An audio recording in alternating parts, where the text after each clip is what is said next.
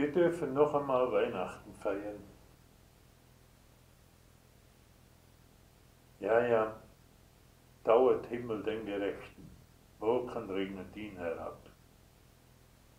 Rief sein Volk in bangen Nächten, tun wir das? Aus des Sünde finsteren Grab.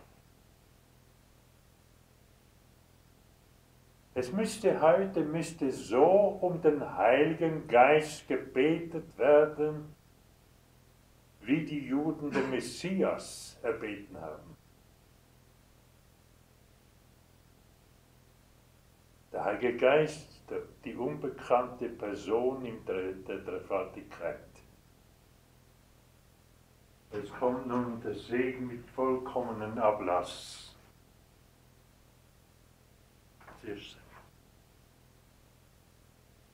Und ich denke an alle,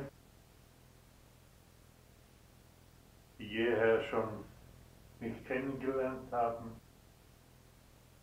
die von mir oder schon im YouTube wie in welcher Art die wahnsinnig Gesunden, die Armen, die Kranken, will den vollen Segen euch geben des dreifaltigen Gottes.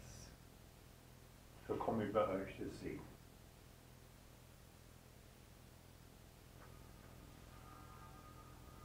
Sit nomine Domini benedictum.